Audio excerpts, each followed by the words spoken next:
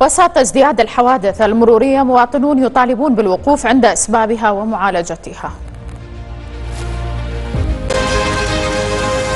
الشرطة المجتمعية في واسط بالتعاون مع كلية الآداب تقيم ندوة لمناقشة ظاهرة التسول وسبل معالجتها. منتسب جريح في القوات المسلحة يبتكر جهاز لمضاعفة الطاقة الكهربائية ويستمر في البحث عن حل أزمة الطاقة.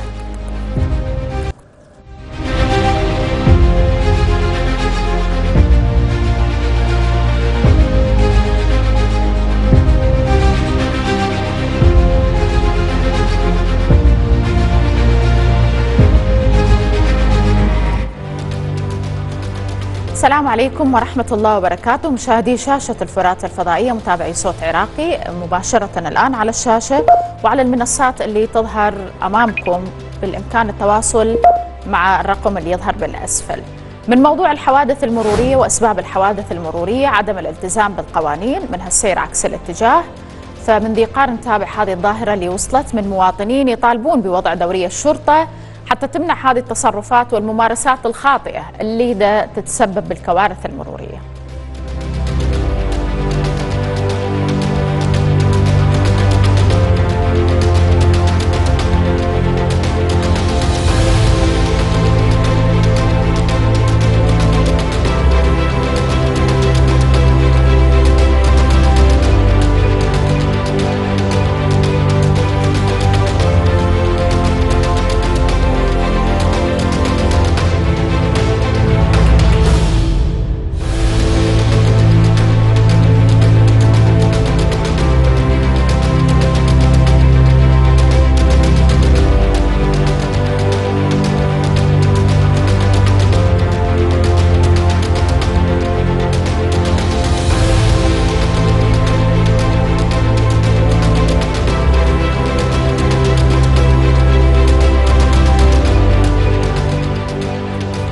ومثل ما قلنا الحوادث المرورية لها أسباب كثيرة من نتائجها أكيد الموت.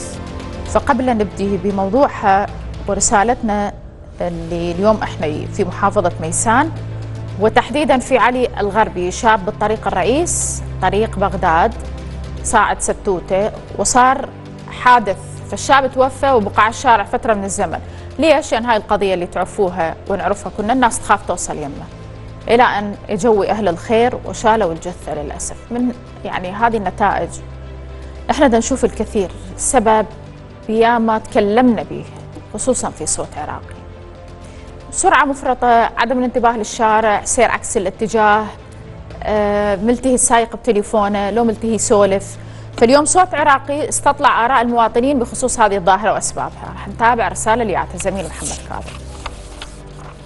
طيبة لكم مشاهدينا الأكارم. رسالتنا لهذا اليوم راح تكون حول ظاهرة كثرة الحوادث المنتشرة بشكل كبير في الآونة الأخيرة. راح نستطلع آراء بعض سائقين المركبات ونشوف شنو الأسباب اللي تؤدي للحوادث. خليكم ويانا.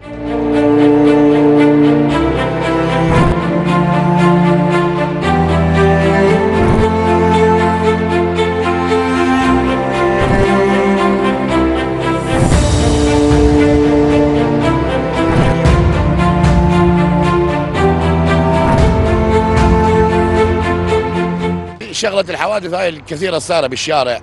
إحنا ما نقول كله والله صوت ابو التشارجر صوت ابو الاوباما صوت فلان صوت علان. شارع انت ما عندك نظيف. طبعا يتوازي يطب بطاسه تقعد تاير انقلب ماتت العالم. أو السرعة مالته أبو اللوري خوف. أبو اللوري اذا لزم السايد اليسرى ما يفك له تجيب له عراضة. عراضة تجيب له ما يفك السايد اليسرى. يابا ليش؟ ناكل بالشوارع قواطع مرور.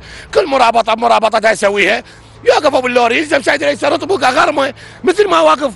لابو تشارجر ابو الاوباما واقع لهم سلك سلك أسلك أبو اللوري. ناس تمشي سرعة. ويعني مو سواق. يعني انت مثل الشارع هذا تعرف مثل تمشي بيه 80 تمشي بيه 70 لا كله عنده تمر عماره قول تهنى. ما يصير هذا الحكي. 160 180 200 ماكو. أنا أقول يمشي المشي المعقول. عندك شارع مفتوح امشي. تعرف هذا الشارع بيه مثل ازدحام وشغلات؟ ما امشي. حتى تحافظ على سلامة ال- الناس الصاعدة وياك بالشارع شنو سيارة تعبر من ذاك ال side لهذا ال side وتقتل لها بعد؟ كم كم نفر؟ ليش؟ أهم شيء واحد يمشي يتأنى بالسرعة.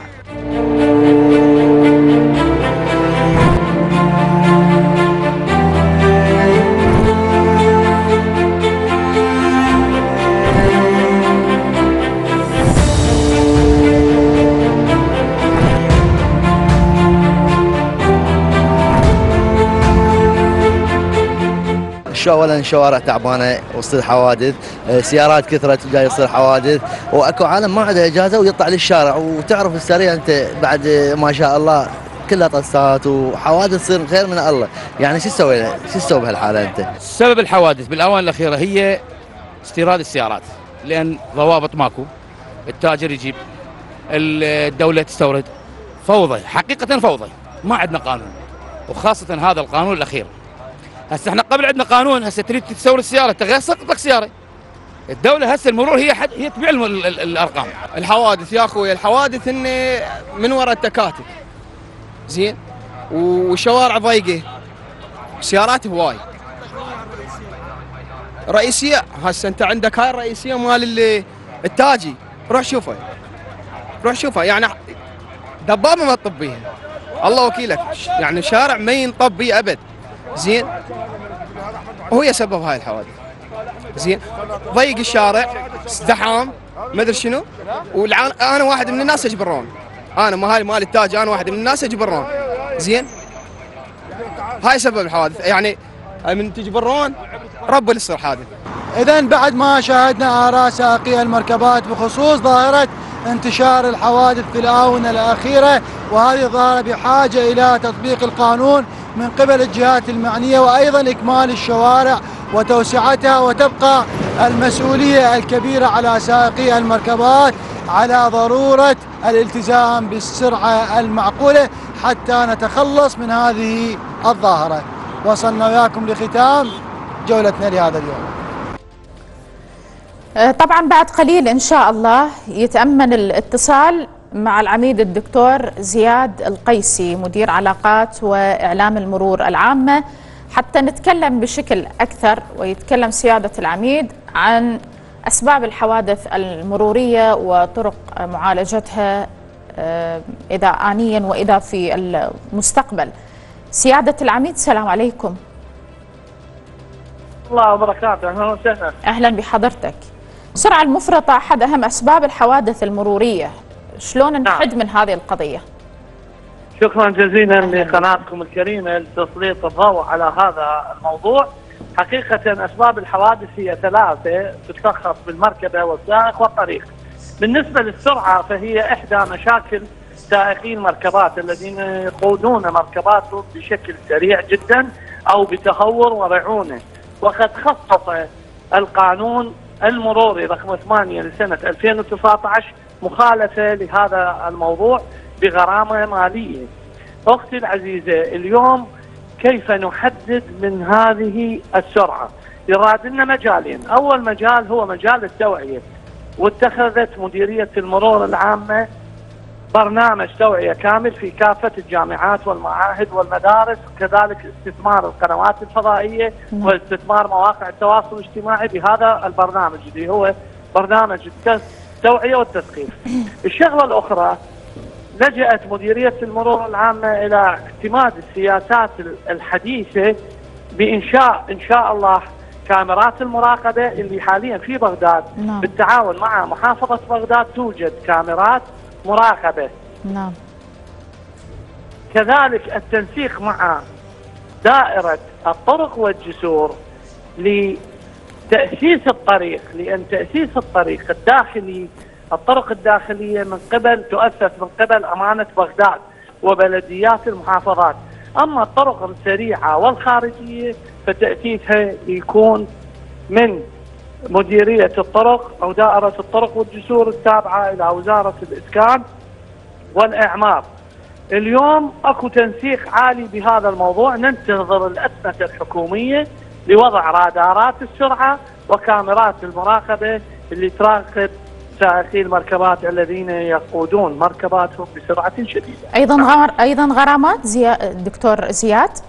نعم نعم غرامة على السرعة. نعم. حددها القانون. طيب بخصوص آه، وضع كاميرات على الطرق الرئيسة نعم نعم نعم. أكو خطط أختي نعم. أكو خطط مستقبلية؟ نعم أكيد خطط؟ مستقبلية وتنسيق جدا عالي مع وزارة الاسكان والإعمار بخصوص تأسيس الطريق بكاميرات المراقبة كذلك الرادارات لكن يعتمد هذا على حكو... آه، الحكومة الإلكترونية. آه، ليصار إلى تثبيت هذه آه، الكاميرات والرادارات على الطريق. طيب ردت حضرتك تحكي على أسباب السرعة أسباب الحوادث المروريه مثل ما قلنا.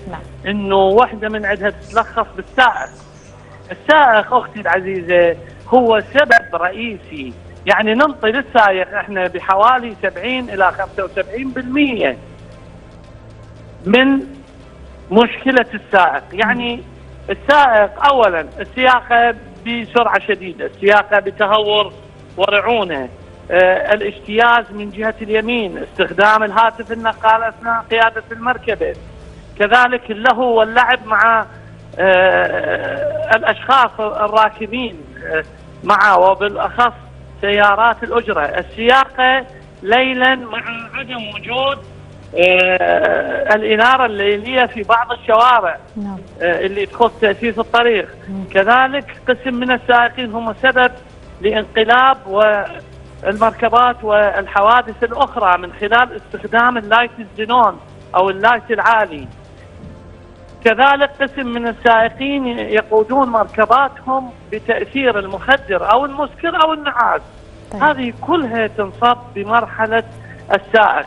هذه هي أسباب الحوادث اللي تتلخص بالسائق. أما المركبة والطريق الطريق أغلب ما نريد نقول أغلب خلينا نقول 50% من الطرق يراد لها آه تعديد ويراد لها إكساء وتصليح التخسفات. آه، ووضع السياج الأمني قسم من المركبات وهاي هم ترجع على السائق اللي يقود مركبته عكس- اتجاه السير. يعني اللي يلاحظ أكو قطع في أي طريق خارجي هذا القطع آه، من جراء حفريات أو تصليح طريق أو اهداء قسم من السائقين ما ياخذ التحويلة ال- ال- اللي آه، انطت هي أمانة آه، العاصمة أو دائرة الطرق والجسور. نعم. شو يسوي؟ يخاف على المركبة مالته يطلع وين؟ يطلع عكس السير. وبالتالي عكس السير يسبب كوارث طبعا.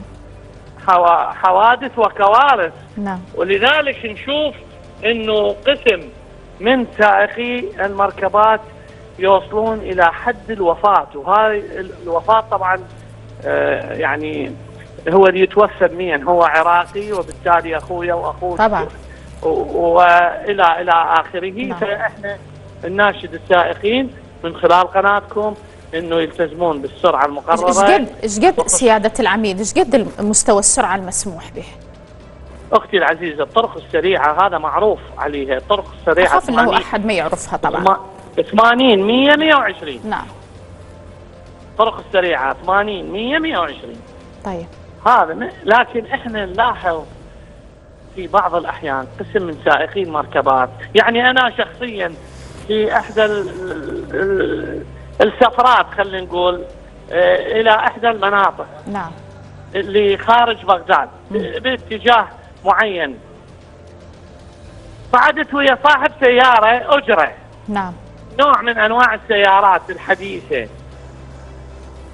لزم الهاتف من صعدنا من النهضه هاي مشاكل هاي كنا نعاني من هاي المشكلة سيادة العميد. وصل وصل وصل للسليمانيه هو ما نزل. الهاتف النقال صح. ويسوق بسرعة يعني لو ماشي 150 كان ارتاحين كله ورا المي... فوق ال 160 بحيث المواطن لازم قلبك بإيدك. إي والله. ال- المواطن العراقي اللي يروح هو وعائلته يمشي 100 120 يوصل بست ساعات. هو وصلنا بثلاث ساعات. على حساب حياة الناس. آه على حساب حياة الناس. اذا اليوم السائق هو المسؤول الأول والأخير عن الحوادث المرورية لأن 70% هو سبب من أسباب الحوادث. طيب أشكركم سيادة العميد الدكتور زياد القيسي مدير علاقات وإعلام المرور العامة شكرا أهلا لحضرتك. وسهلا بكم وبقناتكم الكريمة، شكرا. شكرا جزيلا.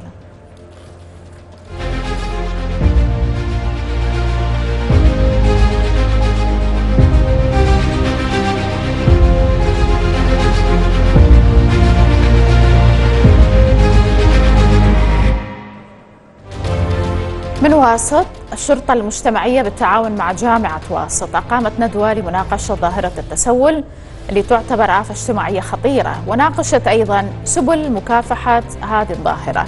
نتابع الرسالة ليعتها الزميل فالح القريشي. السلام عليكم سادتي المشاهدين ورحمة الله وبركاته. نرحب بكم أجمل ترحيب من هنا من محافظة واسط حيث تقيم الشرطة المجتمعية ندوة عن التسول وأضراره كآفة اجتماعية يجب معالجتها والحد من انعكاساتها السلبية على واقع الأسر والطفولة. فابقوا معنا في هذه الرسالة من داخل هذه الندوة.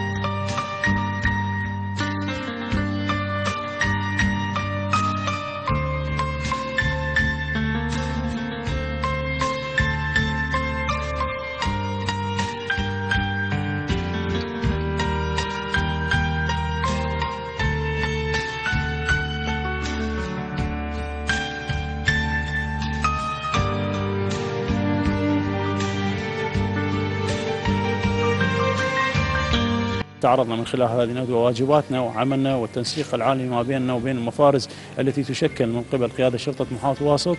آه، واجباتنا الأساسية متابعة هكذا حالات وقدرنا أن نشخص أكثر من حالة وقدرنا أن نعرض من خلالها آه، أفلام وثائقية تخص واجباتنا ومفارزنا اللي تتجول آه، على هكذا حالات.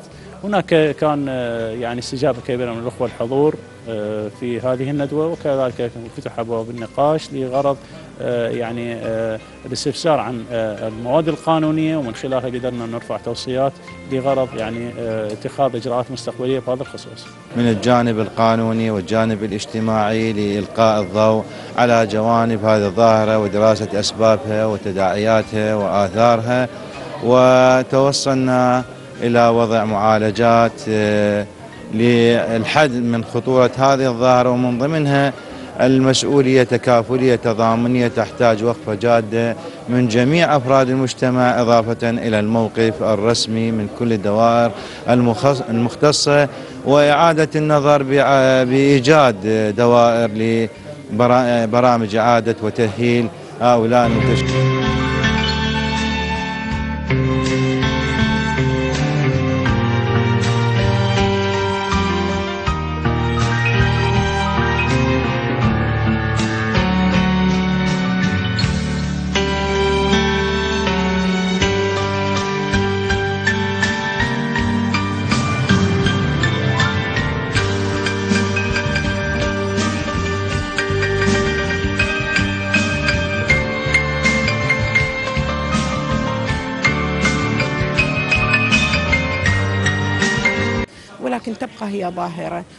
فقط في مدينة الكوت وإنما في جميع مدن ال- العراق وأيضا حتى العالم بظاهرة التسول.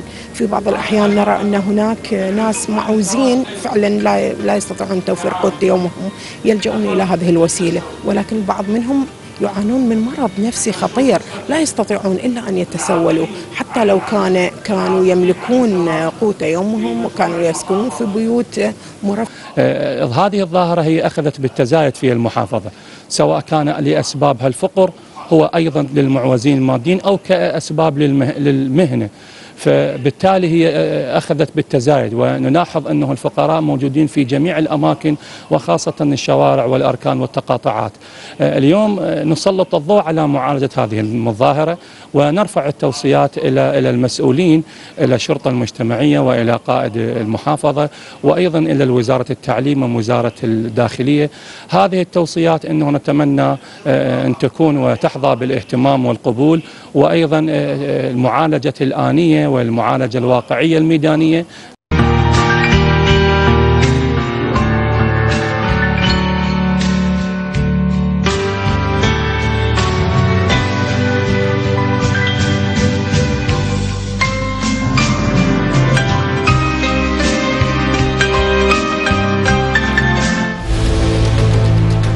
عندنا مناشد عبر الهاتف. السلام عليكم.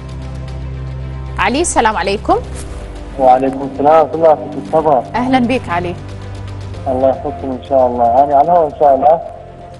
أهلا بك.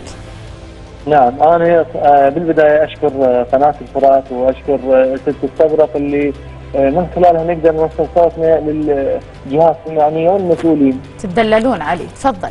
الله يحفظك. أنا أنا حارس أمني بحقل الاحدب النفطي اللي بالكتب واسط. نعم. صراحة أنا للمرة الثانية وعن طريق آه، آه، من خلال قناة الفرات أوصل صوتي. جيت المرة آه، قالوا أنت المفروض ناخذ بك الإجراء. اللازم أنا مبسوط عقدي ومبسوط من من الحراس الأمنيين ولازم نرجعك بأقرب وقت لأن أنت من المتأذين من من الدخان و وشغلتك يعني لازم ناخذ بها إجراء. قوي وسريع نفس الشيء من خلال قناتهم آه، استجابوا للمناشدة مالتي. بس من ذاك اليوم من هذا اليوم تقريبا صار لها تسع أشهر بس إي وإي واستجبنا وان شاء الله وتدلف لحد ما طلع الوزير أحسان عبد الجبار ولحد الآن كل شيء مر. يعني إحنا وصلت إلى درجة وصلت إلى درجة نبيع الكنتور ونبيع البوقي ونبيع ملابسنا حتى نقدر نعيش. لا حول الله فأنت هسه شو تريد علي هسه أنا فقط أريد العودة. يعني يعني ما كفرت أنا ما كفرت. صار عندي ظرف صحي و- و- وتاخرت عن الدوام كفروني يعني يعني والله العظيم أنا هسه المشكلة. تدري شنو المشكلة؟ أنا ثلاث ثلاث كيلوات عن الشركة إذا صار الهواء شرجي نفسها بالع... بالعامية.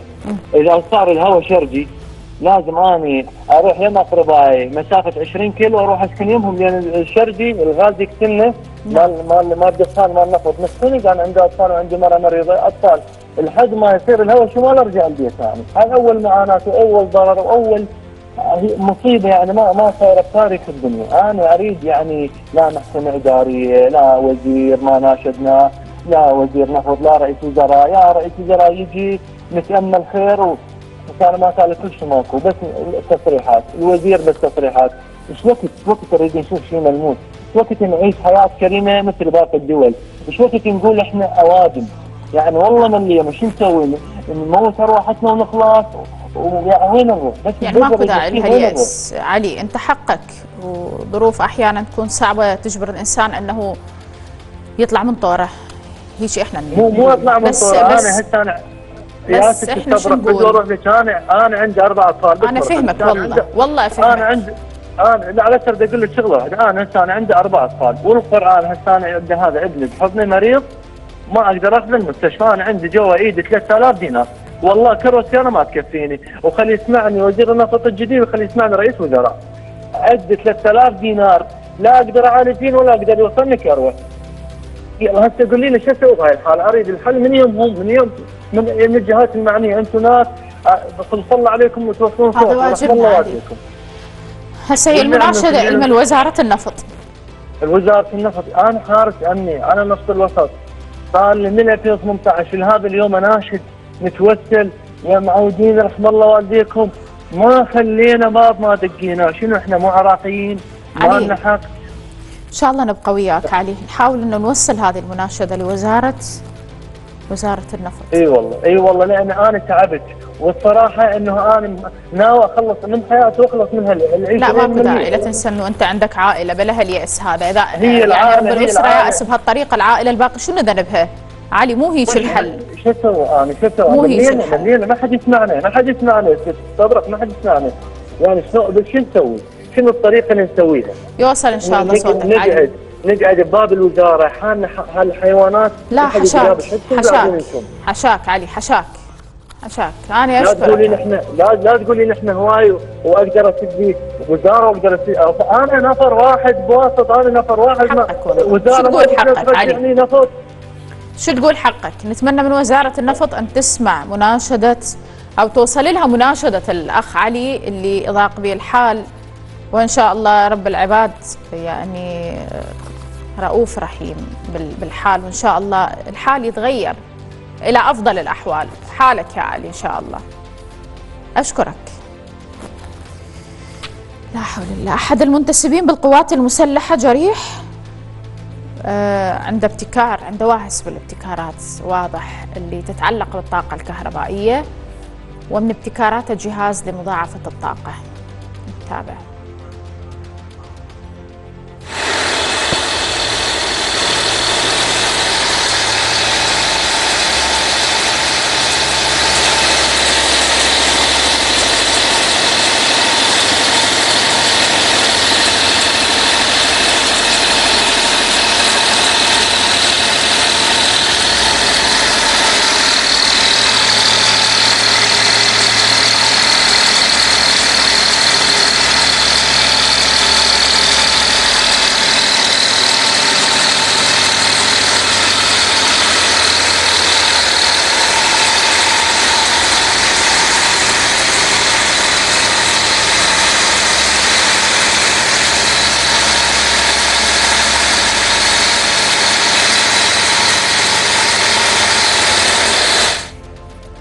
كان المفروض الأخ المنتسب فائق يكون ويانا لكن هو الآن بالواجب. فإحنا بدنا نتصل عليه المنطقة اللي هو بيها منطقة نائية فماكو شبكة. فإحنا نحاول إن شاء الله من يرجع إذا الله راد وسهل نحاول إنه نسوي له رسالة ونحاول إنه يكون ضيفنا في صوت عراقي. وطبعا هذا مو الابتكار الوحيد يبدو إنه عنده ابتكارات أخرى. فنحاول أنه نلتقي به بأقرب وقت إن شاء الله. صوت عراقي لهذا اليوم ينتهي، شكرا لمتابعتكم، سلام عليكم ورحمة الله، قبل لا أنسى طبعا آه لا تسمحوا لي وقت؟ آه تمام اسمح لي، طبعا تمام اليوم مخرج حلقتنا محمد الحسن كالمعتاد آه معد برنامج صوت عراقي. تحياتي وأحب أبارك للأخ العزيز علي أسعد الغزي دخول القفص الذهبي وإن شاء الله كل التوفيق والسعادة وبتعبيرنا إحنا نقول سبع سعادات إن شاء الله. شكرا لمتابعتكم. سلام عليكم ورحمة